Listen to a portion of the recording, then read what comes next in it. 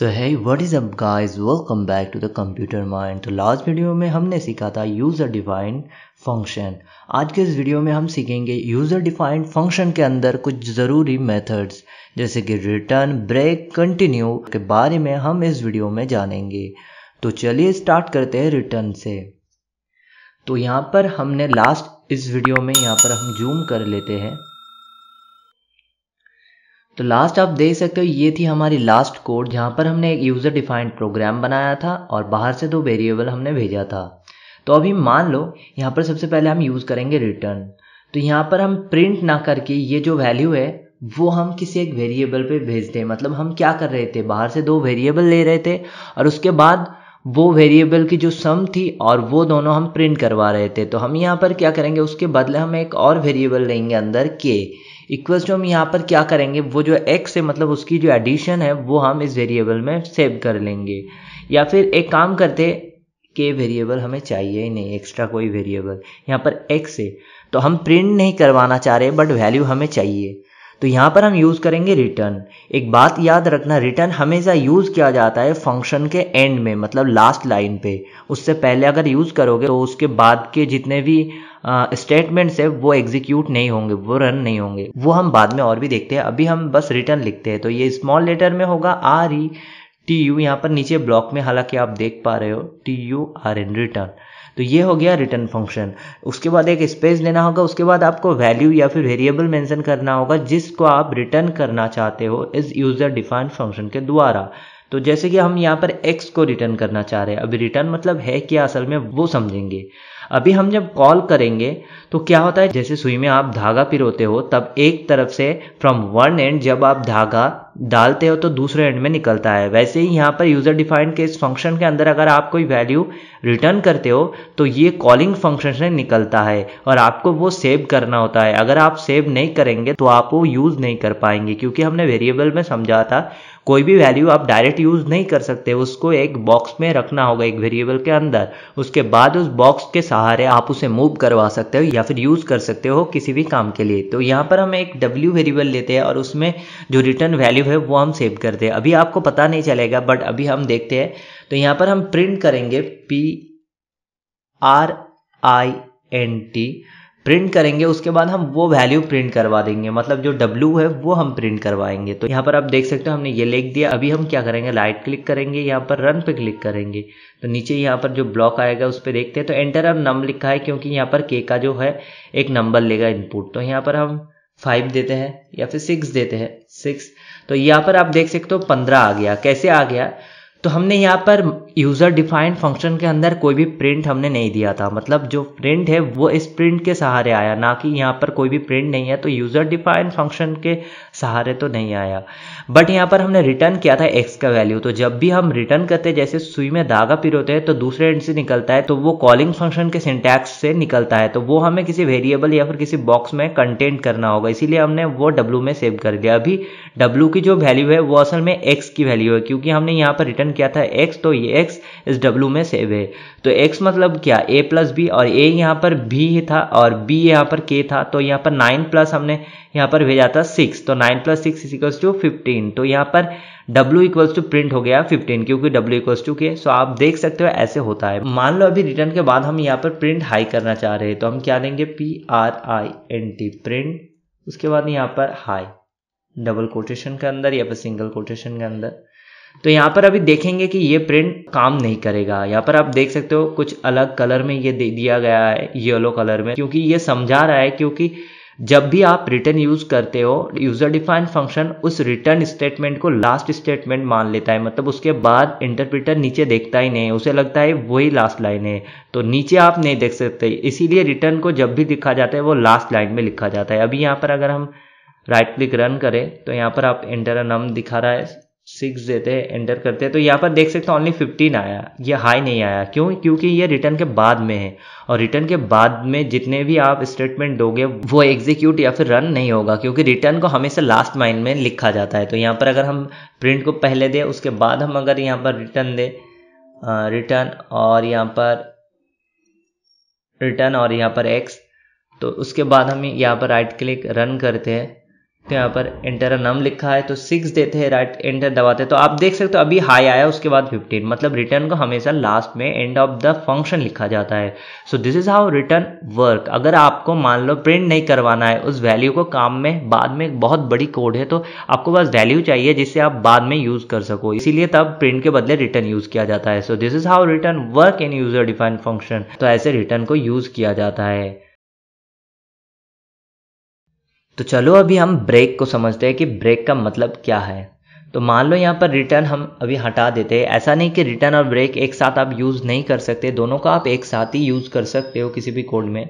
But हम क्या करेंगे? यहाँ पर हम अलग से ब्रेक को पहले समझते हैं। तो यहाँ पर प्रिंट हाई है। उसके बाद हम देते हैं P R I N T print उसके बाद हम देंगे आ, सिंगल कोड के अंदर या फिर डबल कोड जो भी है। उसके बाद बी बी ओके तो यहाँ पर क्या हो गया? दो है। तो यहाँ पर अगर हम इसके बीच में ब्रेक दे दे B R E A K तो ब्रेक तो ब्रेक मतलब आप ये समझ लो, जैसे साइकिल में ब्रेक होता है मोटरसाइकिल में ब्रेक होता है ब्रेक दबाने से क्या होता है? आगे नहीं बढ़ता। कोई भी कोड पे अगर आप ब्रेक देते हो तो उसके बाद जितने भी स्टेटमेंट्स है, वो एग्जीक्यूट नहीं होता। वहीं पे कोड ब्रेक हो जाता है मतलब वहीं पे इंटरप्रिटर रुक जाता है और वहीं पे एंड हो जाता है। उसके बाद फिर से वो काम नहीं करता। बट ब्रेक को आप लूप में ही यूज़ कर सकते हो। तो ब्रेक को बिना लूप के यूज़ नहीं किया जाता। ब्रेक को यूज़ ही किया जाता है लूप को ब्रेक करने के लिए ना कि फ़ंक्शन और आ, कितने भी स्टेटमेंट्स को ब्रेक करने के लिए। यहाँ पर अगर राइट क्लिक रन करोगे तो यहाँ पर पता चलेगा आपको जैसे कि यहाँ पर इंटरप्रिटर बता ही रहा है कि ब्रेक आउटसाइड द लूप मतलब ब्रेक आपको इनसाइड लूप देना होगा आपने आउटसाइड लूप दिया है इसीलिए सिंटैक्स इरर आ गया। तो यहाँ पर हम एक लूप बनाते हैं। फॉर लूप दे देते हैं। हमने सीखा था फॉर लूप वाइल लूप तो I hope you remember that so for i equals to या फिर आप यहाँ पर आई ही देना है, ऐसा नहीं, आप भी नहीं, भी तो हमने ऑलरेडी यूज़ किया है। कुछ ऐसा वेरिएबल का नाम देना होगा जिसे हमने पहले यूज़ ना किया हो, जैसे कि एन तो फॉर एन इन अगर हम रेंज ही दें यहाँ पर रेंज ही यूज़ करें रेंज उसके बाद मान लो हम यहाँ पर पैरांथिस अंदर तीन बार करते हैं रेंज उसके बाद हमें क्या देना है? I hope you remember colon उसके बाद यहाँ पर नीचे, उसके अंदर जितने भी हमें स्टेटमेंट देंगे। तो यहाँ पर इससे हम एक काम करते हैं सॉरी तो यहाँ पर हम देंगे पहले print P R I N T उसके बाद इसके अंदर जी सॉरी उसके बाद इसके अंदर जी और उसके बाद हम यहाँ पर देते हैं राइट कंट्रोल प्लस वी तो यहाँ पर हमने ब्रेक दिया उसके बाद। तो आप देख सकते हो, पहले हमने एक फॉर लूप लिखा, उसके बाद हमने एक प्रिंट किया, उसके बाद ब्रेक किया, उसके बाद फिर से प्रिंट किया। तो यहाँ पर हम जी के बदले एन देते हैं। तो क्या होगा, जब हम एन देंगे तब हमारी जो नंबर है, वो प्रिंट हो जाएगा। तो यहाँ पर प्रिंट उसके बाद ब्रेक उसके बाद प्रिंट तो ब्रेक हमेशा यूज़ किया जाता है फॉर लूप के अंदर, ना कि किसी भी फ़ंक्शन के अंदर। मतलब फ़ंक्शन के अंदर तो है बट वो किसी फॉर लूप में ही होना चाहिए। जैसे कि ये फॉर लूप इस फ़ंक्शन के अंदर है। अगर ये बाहर भी हो, तब भी आप ब्रेक दे सकते हो। तो ब्रेक किसी लूप के अंदर देना होता है। तो राइट क्लिक करते यहाँ पर रन करते हैं। तो यहाँ पर एंटर है नाम जो कि के की वैल्यू होगी। तो यहाँ पर सिक्स देते हैं एंटर दबाते हैं। तो आप देख सकते हो हाई प्रिंट हुआ ज़ीरो प्रिंट हुआ, और नन प्रिंट हुआ। अभी समझते हैं, ऐसा क्यों हुआ? तो सबसे पहले यहाँ पर जो हाई प्रिंट हुआ, वो इस हाई के लिए हुआ, क्योंकि प्रिंट हाई और x की वैल्यू कहाँ से सेव हुआ? यहाँ पर कितना हुआ? हमने सिक्स दिया था और यहाँ पर नाइन था, v के तो टोटल पंद्रह यहाँ पर x सेव हो गया। अभी यहाँ पर फॉर में ये गया तो फॉर में रेंज थ्री है मतलब i वन और ज़ीरो वन टू तो तीन बार ये लूप होगा। और जैसे तीन होगा, n की वैल्यू तो ये ओवर हो जाएगा। हमने समझा था, पहले ही लूप कैसे काम करता है। तो यहाँ पर अभी क्या होगा? सबसे पहले ये प्रिंट स्टेटमेंट पे जाएगा। जब ज़ीरो होगा तो n equals to zero print करेगा, यहाँ पर हमें ज़ीरो मिल गया। उसके बाद यहाँ पर ब्रेक हो गया, और ब्रेक हमने समझा था, जैसे हम ब्रेक देते हैं, उसके नीचे जितने भी कोड होते हैं, वो रन नहीं होता है वो एग्जीक्यूट नहीं होता, इसीलिए यहाँ पर कोई भी बीबी नहीं आया। बट यहाँ पर नन क्या है? तो नन मतलब अभी तो हमने कोई रिटर्न नहीं दिया, फिर भी हमने इसमें ये सेव कर लिया डब्लू में, जो भी ये देगा। बट ये तो कुछ दे ही नहीं रहा है, क्योंकि हमने रिटर्न यूज़ नहीं किया है। तो जब भी हम किसी फ़ंक्शन में रिटर्न यूज़ नहीं करते हैं तो उसकी जो वैल्यू होती है वो नन होती है। मतलब रिटर्न कुछ भी नहीं होता है, उसे नन कहा जाता है। और उसके बाद हमने जब प्रिंट डब्लू किया तो यहाँ पर नन ही प्रिंट हो गया, क्योंकि उसके अंदर कुछ है ही नहीं, क्योंकि हमने कोई वैल्यू रिटर्न ही नहीं किया इस फ़ंक्शन के अंदर। तो इसीलिए ये नन प्रिंट हुआ, और यहाँ पर बी बी प्रिंट नहीं हुआ, यहाँ पर n equal to zero print हुआ। उसके बाद ये दो नंबर लुक में क्यों नहीं गया, वो समझते क्योंकि यहाँ पर ज़ीरो हुआ, उसके बाद टू क्यों नहीं हुआ? क्योंकि ये ब्रेक हो गया। ब्रेक होने के बाद नॉट ओनली नीचे के जो स्टेटमेंट्स है, वो प्रिंट नहीं होते या फिर एग्जीक्यूट नहीं होते, चाहे वो प्रिंट हो या फिर कोई और कोड हो। बट ऑल्सो क्या होता है? फॉर लूप और चलता ही नहीं है। मतलब जैसे ही ब्रेक हो जाता है, वो डायरेक्ट इस फॉर लूप से बाहर आ जाता है। नॉट ओनली कि ऐसा नहीं कि फिर से फॉर लूप में चला जाएगा, यहाँ से डायरेक्ट इससे, इस इस तक ऐसा नहीं है। ये क्या करता है? डायरेक्ट इस फॉर लूप को ही ओवर कर देता है मतलब ब्रेक कर देता है मतलब एन इक्वल्स टू वन में जाता ही नहीं। ये डायरेक्ट इस डब्लू में चला जाएगा फ़ंक्शन में। अगर आप डिबग करके देखना चाह रहे हो तो डिबग कर सकते हो। हमने हालाँकि पिछले वीडियोस में दिखाया था कैसे डिबग करते हैं और कैसे समझते हैं कोड को मैनुअल एग्जीक्यूशन के द्वारा तो आप वो करके देख सकते हो। तो यहाँ पर हम वो करेंगे नहीं, क्योंकि हमने हज़ार बार करके दिखाया है तो प्लीज़ डू इट योर तो यहाँ पर अगर हम चाहे कि हम इस लूप को एक बार नहीं, तीन ही बार हम चलाना चाह रहे हैं बट इस प्रिंट बीबी को हम ब्रेक करना चाह रहे हैं। मतलब ओनली हम इस प्रिंट बीबी को प्रिंट नहीं करना चाह रहे, इस स्टेटमेंट को हम ओनली रन नहीं करवाना चाह रहे बट बाकी जितने भी स्टेटमेंट्स है, वो तीनों के तीन ही बार हम प्रिंट करवाना चाह रहे हैं। मतलब फॉर लूप को हम ओवर नहीं करवाना चाह रहे, बस इस प्रिंट स्टेटमेंट को हम ब्रेक करना चाह रहे तो वो कैसे करें? तो यहाँ पर आता है कॉन्सेप्ट कंटिन्यू का। तो यहाँ पर हम सीखते हैं अभी कंटिन्यू कैसे यूज़ होता है। तो यहाँ पर हम ब्रेक के जगह बस हम कंटिन्यू दे देंगे। तो यहाँ पर देते हैं C O N sorry C O N C O N तो यहाँ पर आप नीचे ब्लॉक में दे सकते हो T I N U E तो ये कंटिन्यू है। तो आपका जो सिंटैक्स है वो है C O N T I N U E syntax continue उसके बाद आपको कुछ भी नहीं देना है। तो यहाँ पर अभी क्या होगा? ब्रेक क्या कर रहा था? वो ब्रेक लगा रहा था। जैसे मोटरसाइकिल साइकिल में ब्रेक हो जाता जैसे ब्रेक होता था, साइकिल रुक जाता था। साइकिलिंग मतलब लूपिंग। साइकिल मतलब लूप होता है ना, टायर जो है वो घूमता ही रहता है, चक्का घूमता ही रहता है तो वो लूप की तरह है तो वैसे ही फॉर भी चक्का की तरह है, लूप लूप लूप, बट जैसे हम ब्रेक लगाते हैं, लूप ओवर हो जाता है और उसके नीचे के स्टेटमेंट भी प्रिंट नहीं होते और वहाँ से लूप ओवर भी हो जाता है, बट कंटिन्यू क्या होता है कंटिन्यू आप जहाँ पर भी जेते डायरेक्ट उससे वो फिर से उस लूप पे चला जाता है मतलब नीचे के जितने भी स्टेटमेंट्स हैं, जैसे कि ये अभी प्रिंट है, अगर और कुछ भी हो तो वो प्रिंट नहीं होता, वहाँ पर इंटरप्रिटर जाता ही नहीं, वो डायरेक्ट जैसे वो कंटिन्यू पड़ता है, वो डायरेक्ट इस फॉर लूप में जम करता है फिर से। फिर से एन इक्वल्स टू वन होगा, फिर से यहाँ पर आएगा, फिर से ये जंप ले लेगा, फिर से टू होगा जंप ले लेगा, फिर से थ्री होगा और थ्री में रेंज मैक्सिमम हो जाता है इक्वल हो जाता है तो ये फॉर लूप ओवर हो जाएगा। अभी रन करके देखते हैं राइट क्लिक रन तो यहाँ पर नंबर मांग रहा है सिक्स देता है, फिर से एंटर दबाता है। तो आप देख सकते हो हाई प्रिंट हुआ ज़ीरो प्रिंट हुआ वन प्रिंट हुआ टू हुआ नन तो यहाँ पर नन क्यों हुआ, वो तो हम समझते ही है, इस डब्लू के कारण क्योंकि यहाँ पर हमने कोई वैल्यू रिटर्न नहीं किया था, फिर भी हमने सेव किया था, इसीलिए नन प्रिंट होता है। और उसके बाद यहाँ पर हाई प्रिंट हुआ इस हाई के लिए, और उसके बाद यहाँ पर ज़ीरो वन टू प्रिंट क्यों हुआ?